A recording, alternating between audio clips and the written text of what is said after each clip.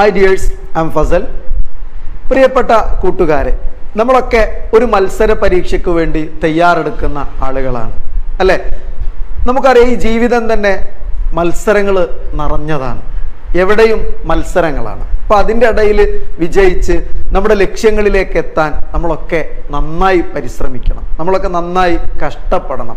Hard work ചെയ്യുമ്പോഴാണ് നമുക്ക് നമ്മുടെ ലക്ഷ്യങ്ങളിലേക്ക് എത്താൻ കഴിയുന്നത് അതല്ലെങ്കിൽ നമുക്ക് ഒരുപാട് മുന്നോട്ട് പോകാൻ കഴിയുന്നത്. നമ്മൾ വിവിധങ്ങളായ ഇപ്പോൾ നമ്മുടെ ജീവിതം തന്നെ നമ്മൾ പറഞ്ഞല്ലോ ഇപ്പോൾ സ്കൂളുകളിലാണെങ്കിലും ജീവിതത്തിലാണെങ്കിലും അത് കഴിഞ്ഞ് ഇനി നമ്മൾ ഫേസ് ചെയ്യാൻ പോകുന്ന വലിയ വിശാലമായ ലോകത്താണെങ്കിലൊക്കെ അത് എപ്പോഴും എന്താണ് ഒരു കോമ്പറ്റീഷൻ നിറഞ്ഞ ലോകം തന്നെയാണ്. അങ്ങനെ നമ്മൾ അതിനെ ഒരു ഒരു ആരോഗ്യപരമായ സന്തോഷകരമായ ഒരു മത്സര്യ ബുദ്ധിയോടുകൂടി മത്സര്യ ബുദ്ധിയോടുകൂടി നമ്മുടെ ജീവിതത്തെ മാറ്റുമ്പോഴേ നമ്മുടെ സ്വപ്നങ്ങൾക്ക് അടുത്തെത്താൻ നമുക്ക് കഴിയൂ. അതല്ലെങ്കിൽ നമ്മൾ കരുതുന്ന രൂപത്തിലുള്ള ആ ഒരു വിജയം ജീവിതത്തിൽ കൊണ്ടുവരാൻ കഴിയൂ. ഈ ചെറിയ പ്രായത്തിൽ തന്നെ നമ്മൾ മുന്നൊരുക്കങ്ങൾ നടത്തുമ്പോൾ വലിയ പരീക്ഷകളെ നേരിടാനുള്ള മുന്നൊരുക്കങ്ങൾ നടത്തുന്നതൊക്കെ ജീവിതത്തിൽ നമുക്ക് ഒരുപാട് ചവിട്ടുപടികളാണ്. നാളെ വിജയിച്ചു കയറേണ്ട ഒരുപാട് മേഖലകൾ കീഴടക്കേണ്ട നമുക്ക് മുമ്പിൽ വരുന്ന പ്രതിബന്ധങ്ങളെ വേഗത്തിൽ തരണം ചെയ്യാനുള്ള ഒരുപാട് ബാല്യപാഠങ്ങളാണ് നമ്മൾ ഈ മേഖലയിൽ നിന്നൊക്കെ പഠിക്കുന്നത്. ഇപ്പോൾ സ്കൂളിൽ വരുന്ന എൽ എസ് എസ് ആണെങ്കിലും യു എസ് എസ് ആണെങ്കിലും പിന്നീട് അതിനുശേഷം വരുന്ന എൻ എം എം എസ് ആണെങ്കിലും അത് കഴിഞ്ഞു വരുന്ന നിരവധി മത്സര പരീക്ഷകൾ. അങ്ങനെ അങ്ങനെ ജീവിതത്തിൽ നമ്മൾ നേടേണ്ട നമ്മൾ എത്തിപ്പെടേണ്ട ഒരുപാട് മേഖലകളുണ്ട്. ആ മേഖലകളുടെ ചവിട്ടുപടികളാണ് നമ്മൾ ഈ കാണുന്നതൊക്കെ. അപ്പൊ അതുകൊണ്ട് നമ്മൾ ഇവിടെ നിന്ന് തന്നെ നമ്മൾ മെനഞ്ഞെടുത്താൽ ഇവിടെ നിന്ന് തന്നെ നമ്മൾ ഒരുപാട് കാര്യങ്ങളെ അറിയാനുള്ള ആ ഒരു രീതി നമ്മൾ പഠിച്ചെടുത്താൽ ഏതു കാര്യങ്ങളെയും ഒരു മടിയില്ലാതെ അത്തരത്തിലുള്ള കാര്യങ്ങൾക്ക് പ്രിപ്പയർ ആവാനും നമ്മൾ അതിനുവേണ്ടി ഹാർഡ് വർക്ക് ചെയ്യാനും തയ്യാറായാൽ അത് ജീവിതത്തിൽ നമുക്ക് കിട്ടുന്ന ഒരു വലിയ അച്ചീവ്മെന്റ് തന്നെയാണ് ഒരു വലിയ നേട്ടം തന്നെയാണ്. അപ്പൊ എന്റെ എല്ലാ പ്രിയപ്പെട്ട കൂട്ടുകാരോടും യു എസ് എസ് എന്ന് പറയുന്ന പരീക്ഷയ്ക്ക് തയ്യാറെടുപ്പ് നടത്തുന്ന എല്ലാ വിദ്യാർത്ഥികൾക്കും ഒരുപാട് നല്ല വിജയങ്ങൾ ഉണ്ടാവട്ടെ എന്ന ആത്മാർത്ഥമായ പ്രാർത്ഥനയോടെ എസ് എസ് പരീക്ഷ എന്താണെന്നും അത് ഏതു രീതിയിലാണ് നിങ്ങൾ എഴുതേണ്ടത് എന്നുള്ളതും അതിന്റെ സമയങ്ങളും അതിൽ വരുന്ന പേപ്പേഴ്സിനെ കുറിച്ചൊക്കെ പ്രിയപ്പെട്ട വിദ്യാർത്ഥികൾക്ക് ധാരണയുണ്ടാകും എന്നാണ് ഞാൻ കരുതുന്നത്. അതുകൊണ്ട് കൂടുതൽ കാര്യങ്ങളിലേക്കൊന്നും നമ്മൾ കടന്നു ചെല്ലുന്നില്ല. രണ്ടു പേപ്പറുകളിലായി വരുന്ന അൻപത്തിയഞ്ചും അൻപതും ക്വസ്റ്റ്യനുകൾ വരുന്ന പേപ്പറുകളിൽ നിന്ന് നിങ്ങൾ നേടിയെടുക്കേണ്ടത് ഏകദേശം നാൽപ്പത്തിയഞ്ചു രണ്ടു പേപ്പറുകളിൽ നിന്നായി നാൽപ്പത്തിയഞ്ചു ഉത്തരങ്ങളാണ് നിങ്ങൾ എഴുതേണ്ടത്. അങ്ങനെ തൊണ്ണൂറ് മാർക്കാണ് ടോട്ടൽ വരിക. അതിന്റെ സെവന്റി പെർസെന്റേജ് മാർക്ക് നിങ്ങൾക്ക് കിട്ടിയാൽ തന്നെ അഥവാ ഏകദേശം അറുപത്തി മൂന്ന് മാർക്ക് കിട്ടിയാൽ തന്നെ അറുപത്തി മൂന്നോ അതിന് മുകളിലോ മാർക്കുകൾ കിട്ടുമ്പോൾ ഈ ഒരു സ്കോളർഷിപ്പിന് നിങ്ങൾ അർഹരാകുന്നതാണ്.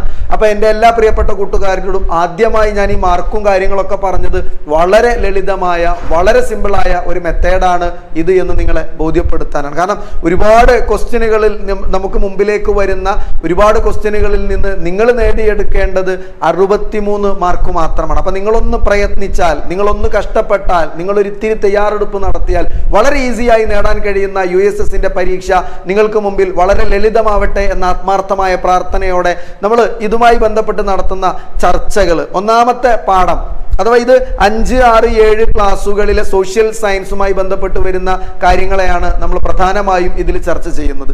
ഇന്ന് നമ്മൾ ചർച്ചക്കെടുക്കുന്നത് സാധാരണയായി ഏറ്റവും അധികം ചോദ്യങ്ങൾ വരുന്ന ഏഴാം ക്ലാസ്സിന്റെ ടെക്സ്റ്റ് ബുക്കിലൂടെയാണ് നമ്മൾ ആദ്യം ആദ്യ പാർട്ടുകൾ നമ്മൾ ചർച്ച ചെയ്ത് കൊണ്ടുപോകുന്നത്. അപ്പോൾ ഇന്ന് ഒന്നാമത്തെ പാഠത്തിലെ വളരെ പ്രധാനപ്പെട്ട് സാധാരണ വരുന്ന ചെറിയ ചില ചോദ്യങ്ങളെയാണ് നാം ആദ്യമായി ഇന്ന് പരിചയപ്പെടുന്നത് അതല്ലെങ്കിൽ നമ്മൾ അറിയാൻ ശ്രമിക്കുന്നത്. അപ്പോൾ ആ ചോദ്യങ്ങളും അതുമായി ബന്ധപ്പെട്ട ഉത്തരങ്ങളും ആണ് നമ്മൾ ഇന്ന് ചർച്ചക്കെടുക്കുന്നത് അപ്പോൾ പ്രിയപ്പെട്ട കൂട്ടുകാർ അത് നോട്ട് ചെയ്ത് വെക്കണം എന്ന് നിങ്ങൾ ഓർമ്മിപ്പിക്കുന്നു.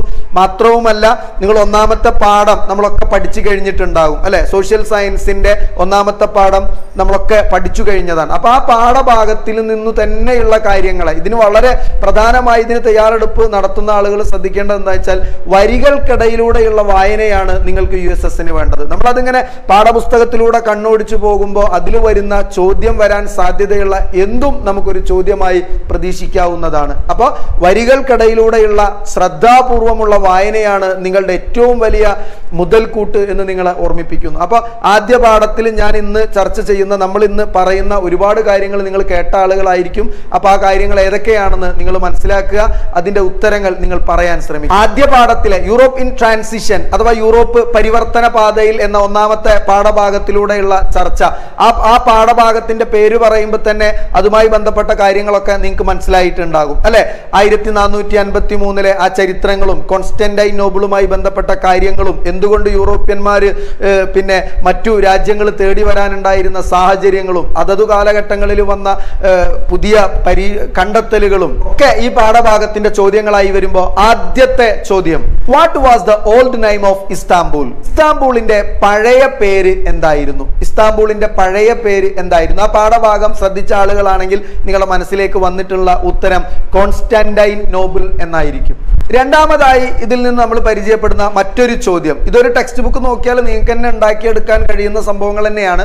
രണ്ടാമതായി നമ്മൾ പരിചയപ്പെടുന്ന മറ്റൊരു ചോദ്യം. When did Turks conquered Constantinople തുർക്കികൾ എന്നാണ് കോൺസ്റ്റന്റൈൻ നോബിൾ കീഴടക്കിയത്? കോൺകേഡ് എന്ന് പറഞ്ഞാൽ കീഴടക്കുക. അപ്പൊ തുർക്കികൾ എന്നാണ് കോൺസ്റ്റന്റൈൻ നോബിൾ കീഴടക്കിയത്? എന്നായിരുന്നു? എന്നായിരുന്നു ആയിരത്തി നാനൂറ്റി അൻപത്തി മൂന്ന്. അപ്പൊ ആ ഡേറ്റുകൾ ഓർത്തു വെക്കുക. നമ്മൾ പഠിച്ചു കോൺസ്റ്റന്റൈ നോബിൾ ഇസ്താംബൂളിന്റെ പേര് കോൺസ്റ്റന്റൈ നോബിൾ അതുപോലെ തുർക്കികൾ കോൺസ്റ്റന്റൈനോബിൾ കീഴടക്കിയത് എന്നാണ് fourteen fifty three and the third question dash is known as the gateway from Asia to Europe ഏഷ്യയിൽ നിന്ന് യൂറോപ്പിലേക്കുള്ള കവാടം എന്നറിയപ്പെടുന്ന പ്രദേശം ഏതാണ്? അതല്ലെങ്കിൽ ആ സ്ഥലത്തിന്റെ പേര് എന്താണ്? ഏതായിരുന്നു? നമ്മൾ ആ ഭൂപടമൊക്കെ നിങ്ങളുടെ മനസ്സിലുണ്ടാവും എന്നാണ് ഞാൻ കരുതുന്നത്. ഏതാണ്? കോൺസ്റ്റന്റൈൻ നോബൽ എന്നാണ് ആൻസർ അതുപോലെ നാലാമതായി നമുക്ക് മുമ്പിലേക്ക് വരുന്ന ഒരു ചോദ്യം. Name the theory that proves the sun is the centre of the universe ഏതു തിയറിയിലൂടെയാണ് സൺ ആണ് സൂര്യനാണ് യൂണിവേഴ്സിന്റെ സെന്റർ എന്ന് തെളിയിച്ച ആ തിയറിയുടെ പേര് എന്താണ്? ആ പാഠഭാഗത്തിൽ ചർച്ച ചെയ്ത കാര്യങ്ങളാണ്. ഏതായിരുന്നു? The theory of the solar system അല്ലെ? The theory of the solar system ആണ്. സൺ ആണ് യൂണിവേഴ്സിന്റെ സെന്റർ എന്നു പറഞ്ഞ അല്ലെങ്കിൽ ആ കാലഘട്ടത്തിൽ പ്രഖ്യാപിച്ച തിയറി അപ്പൊ ഈ ഒരു കാര്യം ചർച്ച ചെയ്യുമ്പോൾ നമ്മൾ പഠിച്ചിട്ടുണ്ട്. അതുവരെ ഉണ്ടായിരുന്ന വിശ്വാസം ഏർത്ത് ആണ് ഭൂമിയാണ് പ്രപഞ്ചത്തിന്റെ സെന്റർ അഥവാ കേന്ദ്രം എന്നാണ് അവർ വിശ്വസിച്ചിരുന്നത്. എന്നാൽ കോപ്പർ നിക്കസ് ഒക്കെയാണ് ഈ ഒരു തിയറിക്ക് കോപ്പർ നിക്കസ് ആണ് ആ ഒരു ചിന്തക്ക് മാറ്റം വരുത്തിക്കൊണ്ട് the theory of solar system എന്ന് പറയുന്ന ആ ഒരു തിയറി കൊണ്ടുവരുന്നത് അല്ലെ? അതുമായി ബന്ധപ്പെട്ട് പിന്നീട് വരുന്ന ഗലീലിയോ ഗലീലിയുടെ കണ്ടുപിടുത്തങ്ങളും ഒക്കെ നമ്മൾ പാഠഭാഗവുമായി ബന്ധപ്പെട്ട് പഠിച്ചതാണ്. യെസ് നെക്സ്റ്റ് ക്വസ്റ്റ്യൻ നമുക്ക് പരിചയപ്പെടാം. Scientifically proved that the theory of solar system was true with the help of which device? നമ്മൾ പറഞ്ഞു വെച്ച ഈ സോളാർ സിസ്റ്റം ശരിയായിരുന്നു എന്ന് ശാസ്ത്രീയമായി തെളിയിച്ച സയന്റിസ്റ്റ് ശാസ്ത്രജ്ഞൻ ആരായിരുന്നു? മാത്രവുമല്ല എന്തിന്റെ സഹായത്തോടു കൂടിയാണ് വിച്ച് ഡിവൈസ് ആണ് അദ്ദേഹം ഇത് പ്രൂവ് ചെയ്യാൻ യൂസ് ചെയ്തത്? അപ്പൊ ക്വസ്റ്റ്യൻ നിങ്ങൾക്ക് മനസ്സിലായിട്ടുണ്ടാവും. Who scientifically proved that the theory of solar system was true with മാത്രമല്ല next question with the help of which device answer Galileo ഗലീലിയാണ് അദ്ദേഹം ടെലസ്കോപ്പ് എന്ന് പറയുന്ന ഡിവൈസ് യൂസ് ചെയ്താണ്. ഈ ഒരു system solar system was true എന്ന് പറയുന്ന ആ ഒരു രീതിയിലേക്ക് കടന്നു വരുന്നത്. അതുമായി ബന്ധപ്പെട്ടൊക്കെ നമുക്ക് ഒരുപാട് ചരിത്രങ്ങളൊക്കെ നമ്മൾ കേട്ടിട്ടുണ്ടാവും അല്ലെ ഗലീലിയോ ഗലീലി ഈ സത്യം തുറന്നു പറയുമ്പോൾ അദ്ദേഹത്തിന് ഒരുപാട് പ്രയാസങ്ങൾ വരുന്നതും ഒക്കെ ചരിത്രങ്ങളിൽ നിന്ന് നമുക്ക് വായിക്കാവുന്നതാണ്. എന്തായാലും നെക്സ്റ്റ് ക്വസ്റ്റ്യൻ നമ്മൾ പരിചയപ്പെടുന്നു. In which country the renaissance begins ഏതു രാജ്യത്താണ് റിനൈൻസെൻസ് തുടങ്ങുന്നത്? നവോത്ഥാനം തുടങ്ങുന്നത് തുടക്കം കുറിക്കുന്നത് ഏതു രാജ്യത്താണ്? ആൻസർ എന്താണ്?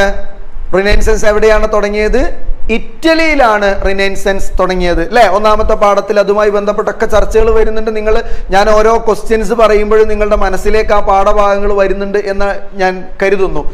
Next question who is known as the father of renaissance ആരാണ് നവോത്ഥാനത്തിന്റെ പിതാവായി അറിയപ്പെടുന്നത്? ടെക്സ്റ്റ് ബുക്കിൽ അദ്ദേഹത്തിന്റെ ഫോട്ടോ പോലും തന്നിട്ടുണ്ട്. ആരാണ് നവോത്ഥാനത്തിന്റെ പിതാവായി അറിയപ്പെടുന്നത്? ട്രാർക്ക് ആണ് നവോത്ഥാനത്തിന്റെ പിതാവായി അറിയപ്പെടുന്നത്. അല്ലെ? Yes Yes, next question. In which country industrial revolution started? ഏതു രാജ്യത്താണ് വ്യാവസായിക വിപ്ലവം തുടക്കം കുറിക്കുന്നത്? വ്യാവസായിക വിപ്ലവം നമുക്കറിയാം ലോകത്തെ ഏറ്റവും വലിയ റവല്യൂഷൻ വ്യാവസായിക വിപ്ലവമാണ്. നമ്മൾ ഈ കാണുന്ന ഈ ലോകത്തിന് ഇത്രയും വലിയ ഒരു മാറ്റം വന്നത് വ്യാവസായിക വിപ്ലവത്തിലൂടെയാണ്. അതിന്റെ തുടക്കം കുറിച്ച രാജ്യം ഏതായിരുന്നു? വളരെ പ്രധാനപ്പെട്ട ഒരു ചോദ്യമാണ് നമ്മൾ അറിഞ്ഞിരിക്കേണ്ട ഒരു ചോദ്യമാണ്. In which country the industrial revolution started എവിടെയാണ്? ഇംഗ്ലണ്ടിലാണ്. വ്യാവസായിക വിപ്ലവം തുടക്കം കുറിച്ചത്. എവിടെയാണ്? ഇംഗ്ലണ്ടിലാണ് മറന്നു പോകരുത്. Next question the person who let the movement reformation ആണ് അതിന്റെ ആൻസർ ചോദ്യം നിങ്ങൾ ശ്രദ്ധിച്ചിട്ടുണ്ടാവും. The person who let the movement reformation അപ്പൊ റിഫോർമേഷൻ എന്ന് പറയുന്ന ഈ മൂവ്മെന്റ് മതനവീകരണം എന്ന് പറയുന്ന ഈ മൂവ്മെന്റ് തുടങ്ങിയ വ്യക്തി ആരാണ്? അല്ലെ? അപ്പൊ അതുമായി ബന്ധപ്പെട്ടുള്ള ചർച്ചകളും നമ്മളെ പാഠഭാഗത്തിൽ വന്നിട്ടുണ്ട്. അദ്ദേഹത്തിന്റെ പേരും അദ്ദേഹത്തിന്റെ ഫോട്ടോയും നമ്മുടെ പാഠഭാഗത്തിൽ വന്നിട്ടുണ്ട്.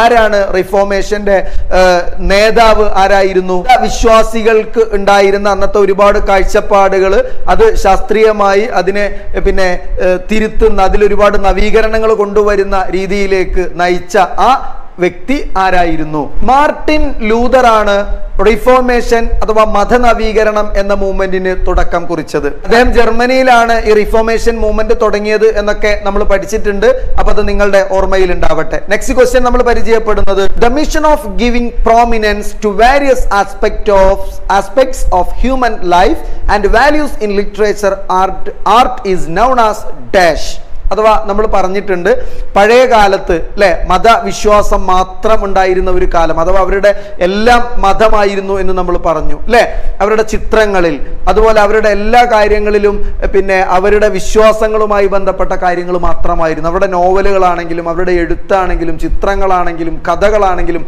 ഒക്കെ എന്തായിരുന്നു? റിലീജിയസ് കൺസെപ്റ്റുകൾ മാത്രമായിരുന്നു. എന്നാൽ പിന്നീടാണ് അത് മനുഷ്യരെ കുറിച്ചുള്ള കാഴ്ചപ്പാടുകളിലേക്ക് മാറി വരുന്നത്. അല്ലെ? അപ്പൊ അതാണ് ചോദ്യം. The mission of giving prominence ആ പ്രോ- പ്രാധാന്യം കൊടുക്കുന്ന ആ ഒരു മിഷൻ എന്തിന്? To various aspect of human life മനുഷ്യന്റെ ജീവിതവുമായി ബന്ധപ്പെട്ട വിവിധ കാര്യങ്ങൾക്ക് പ്രാധാന്യം കൊടുക്കുന്ന അതുപോലെ ലിറ്ററേച്ചർ സാഹിത്യത്തിനും ആർട്ട് കലകൾക്കൊക്കെ പ്രാധാന്യം കൊടുക്കുന്ന രീതിയിലേക്കുള്ള ആ ഒരു മാറ്റം. അഥവാ കലകളിലും സാഹിത്യങ്ങളിലും പിന്നീട് വന്ന സംഭവങ്ങളിലൊക്കെ മനുഷ്യ ജീവിതം പരിഗണിച്ചു വന്ന മനുഷ്യരുടെ കഥകൾ പറയാൻ തുടങ്ങിയ മനുഷ്യരുടെ ചിത്രങ്ങളിലേക്ക് വന്ന പ്രകൃതിയുടെ അല്ലെങ്കിൽ ചിത്രങ്ങളിൽ നിന്നൊക്കെ മനുഷ്യരുമായി ബന്ധപ്പെട്ട കാര്യങ്ങളിലേക്ക് മാറിയ ആ ഒരു കാലഘട്ടത്തെ അല്ലെങ്കിൽ ആ ഒരു മിഷൻ ആ ഒരു സംഭവത്തെ ഏതു പേരിലാണ് അറിയപ്പെടുന്നത്? ഏതു പേരിലായിരുന്നു? ഹ്യൂമനിസം എന്താണ്? Humanism next question the refinement underwent by the European Christianity in the sixteenth century is known as dash പതിനാറാം നൂറ്റാണ്ടിൽ യൂറോപ്യൻ ക്രിസ്ത്യാനിറ്റിയിൽ നടന്ന ഒരു റിഫൈൻമെന്റ് അഥവാ ഒരു പരിഷ്കരണം. ആ പരിഷ്കരണം ഏതു പേരിൽ അറിയപ്പെടുന്നു? അഥവാ അവരുടെ എല്ലാ കാഴ്ചപ്പാടുകളും എല്ലാ സംഭവങ്ങളും അവരുടെ പോപ്പുകളും അതല്ലെങ്കിൽ അവരുടെ ആ ഒരു പഴയ വിശ്വാസങ്ങളും അനുസരിച്ച് മാത്രം നിലനിന്നിരുന്ന് പോന്നിടുന്നിടത്ത് നിന്ന് തെളിവുകളുടെ അടിസ്ഥാനത്തിൽ അവയിൽ മാറ്റങ്ങൾ വരാൻ കഴിയും അതല്ലെങ്കിൽ അവരിൽ പരിവർത്തനങ്ങൾ വരുത്താൻ കഴിയും എന്ന ചിന്താഗതിയിലേക്ക് മാറിയ ആ ഒരു സംഭവത്തെ ഏതു പേരിലാണ് അറിയപ്പെടുന്നത്? ഏതു പേരിലാണ്? അതിനെയാണ് റീഫോമേഷൻ. റീഫോമേഷൻ അഥവാ മതനവീകരണം എന്ന പേരിൽ അറിയപ്പെടുന്നു. അപ്പൊ മതനവീകരണം എന്ന് പറഞ്ഞാൽ എന്താണ്? ദ റിഫൈൻമെന്റ് അതൊരു പരിഷ്കരണമായിരുന്നു. Underwent by the European Christianity യൂറോപ്പിലെ ക്രിസ്ത്യൻ സമൂഹത്തിനിടയിൽ വന്ന ഒരു പരിഷ്കരണമായിരുന്നു ഇൻ ദി സിക്സ്റ്റീൻത് സെഞ്ചുറി പതിനാറാം നൂറ്റാണ്ടിൽ. അതിനെയാണ് നമ്മൾ എന്ത് വിളിക്കുന്നത്? റീഫോമേഷൻ എന്ന് വിളിക്കുന്നത്. പാഠഭാഗത്തിന്റെ ആദ്യം ഒന്ന് രണ്ട് പേജുകൾ മാത്രമാണ് നമ്മൾ ചർച്ച ചെയ്തു പോയത്. ഇനിയും ഒത്തിരി കാര്യങ്ങൾ നമുക്ക് ചർച്ച ചെയ്യാനുണ്ട്. അപ്പോൾ വരും സമയങ്ങളിൽ പ്രിയപ്പെട്ട വിദ്യാർത്ഥികൾ വളരെ കുറഞ്ഞ ചോദ്യങ്ങളെ നമ്മൾ അനലൈസ് ചെയ്യുന്നുള്ളൂ. അപ്പൊ ആ കാര്യങ്ങളെ വളരെ കൃത്യമായി വായിച്ചെടുക്കുക. അതുപോലെ ഈ ചോദ്യങ്ങൾ വന്ന ഒന്ന് രണ്ട് പേജുകൾ അതൊന്നുകൂടി അമർത്തി വായിക്കുക നേരത്തെ പറഞ്ഞ പോലെ വരികൾക്കിടയിലൂടെ വായിക്കുക ഇനിയും ഒരുപാട് ചോദ്യങ്ങൾ നമുക്ക് കണ്ടെത്താനുണ്ട്. അവയുടെ ഉത്തരങ്ങളും നിങ്ങൾ മനസ്സിൽ കുറിച്ചു വെക്കുക. നെക്സ്റ്റ് ക്ലാസ്സിൽ പാഠഭാഗത്തിന്റെ പുതിയ മേഖലകളിലൂടെ നമുക്ക് ചർച്ച ചെയ്യാം. അങ്ങനെ ഒത്തിരി പുതിയ ക്വസ്റ്റ്യനുകളെ പരിചയപ്പെടാം. അതുവരെയും എല്ലാ വിദ്യാർത്ഥികളോടും ബെസ്റ്റ് ഓഫ് ലക്ക്